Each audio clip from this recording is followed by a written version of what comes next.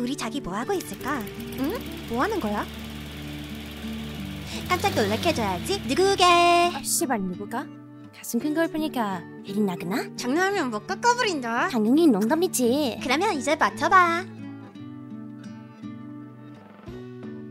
야 자냐? 어, 착함 저랬네? 요즘 너무 피곤해서 말이야 이제 대답해. 질문이 뭐였지? 뭐긴 뭐야 내가 아, 누구냐고. 너이 누구야? 어디 자기지? 이 새끼 머리 쓰는 거 보소. 자기야 이제 손 치워줘 눈에 뽑힐 것 같아 자기 누구? 그게 무슨 뜬단지 같은 소리야 자기가 누구냐니 닥치고 이름 말해.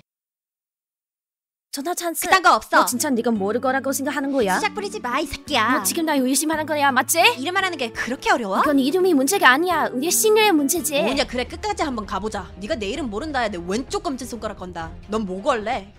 이렇게 같이 피를 봐야겠어? 쫄리냐? 쪼리는 건 내가 아니라 너겠지? 이 새끼 옆바닥 놀리는 거 보소. 마지막 기회 줄 테니까 이손 떼! 마지막 기회는 내가 너한테 주는 거야. 이제 더 이상 돌이킬 수 없어. 그래도 상관없는 거야? 뭐냐 내가 바라던 바다. 오늘 둘 중 하나는 뒤지는 거야. 세세면 동시에 우리가 초키스했던 짠선 말하는 거다. 고작 생각하는 게 그거냐 이런 교색. 졸리면 돼지 신도지. 아가리 그만 놀리고 시작하자.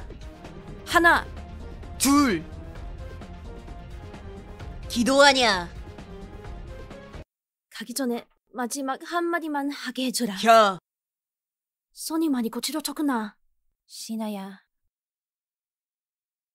틀렸어 이 개새끼